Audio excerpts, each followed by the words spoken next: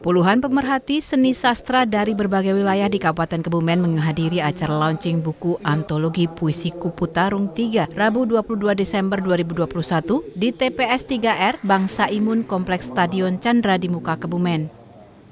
Selain dihadiri para pecinta seni sastra turut hadir dalam acara yang diselenggarakan oleh Sekolah Rakyat Melubai SRMB para pejabat terkait di lingkungan Pemkap Kebumen. Menurut Ketua Panitia Pekik Satsiswo Nirmolo, buku antologi puisi ini ditulis oleh 14 penulis puisi dari berbagai latar belakang di Kabupaten Kebumen. Pekik berharap dengan adanya launching buku ini dapat diterima oleh berbagai lapisan masyarakat di Kabupaten Kebumen sehingga dapat menambah hasanah literasi lokal.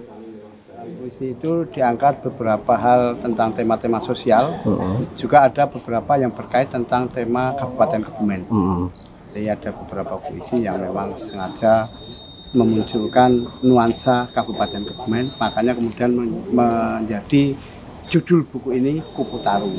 Uh-uh. Kupu Tarung itu merupakan satu tempat di Kabupaten Kebumen yang barangkali sudah banyak orang yang melupakan.